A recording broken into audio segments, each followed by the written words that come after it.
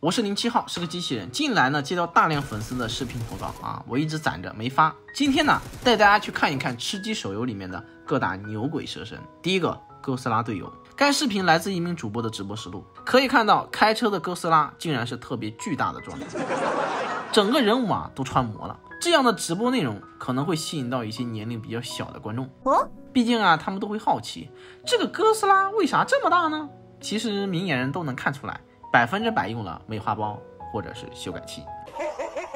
第二个巨型人机也是来自某位主播的直播实录，和上面的视频呢似乎有着异曲同工之妙。该主播声称是吃鸡的单机模式，其实傻子都能看出来，他肯定也是使用了修改器。第三个巨型枪械和上面两个。又是非常的相似，只不过这次变大的是枪，那么使用的方法肯定也是一样的，使用所谓的修改器把这个枪械改成了巨型的。同时，该视频作者还自导自演，问大家怎么回事，又说是游戏的 bug。这种睁着眼说瞎话的行为，不建议大家模仿。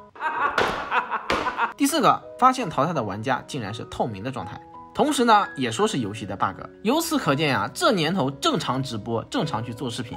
已经没人看了，你不搞出点花样，那还真不行。但是这种昧着良心说假话，自己把人物修改了，把枪械美化了啊，愣说是游戏的 bug，这就有点不对了吧？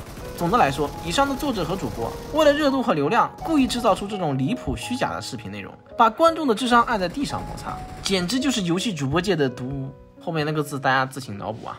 好了好了，我是零七号，我们下期视频再见，拜拜。